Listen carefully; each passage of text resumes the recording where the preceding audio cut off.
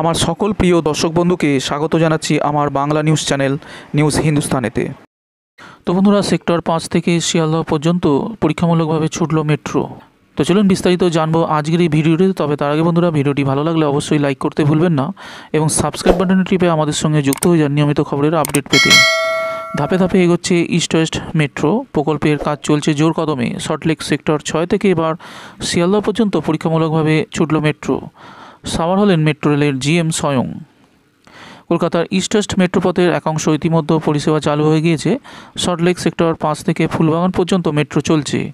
পরবর্তী তথা অষ্টম স্টেশন শিয়ালদাহ। সূত্রের খবর, ফুলবাগান থেকে শিয়ালদাহ পর্যন্ত একদিকে সুড়ঙ্গ তৈরির কাজ পুরোপুরি শেষ। রেল লাইন পাতা থেকে থার্ড রেল বসানোর কাজও শেষ হয়ে গিয়েছে। শুরু হয়েছে চার্জিং। শিয়ালদা স্টেশনের কিছু বিশেষত্ব এক স্টেশনটি মাটির পনেরো মিটার গভীরে অবস্থিত। দুই লাইন পাতা হয়েছে আরও এক মিটার, অর্থাৎ পনেরো মিটার গভীরে। তিন, এই স্টেশন দিয়ে আপাতত যাতায়াত করতে পারবেন চল্লিশ হাজার মানুষ। চার মেট্রো কর্তৃপক্ষের হিসাবে দু হাজার পঁচিশ সালের মধ্যে ঘণ্টা স্টেশনে ঢুকবে সতেরো হাজার যাত্রী আর বেরোবেন বাইশ হাজার যাত্রী।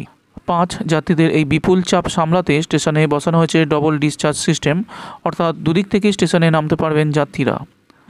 কবে শিয়ালদাহ চালু হচ্ছে মেট্রো? এই প্রশ্নের উত্তরে জানানো হয়েছে দু হাজার একুশের ডিসেম্বরের মধ্যেই মোটামুটি সম্ভাবনা আছে।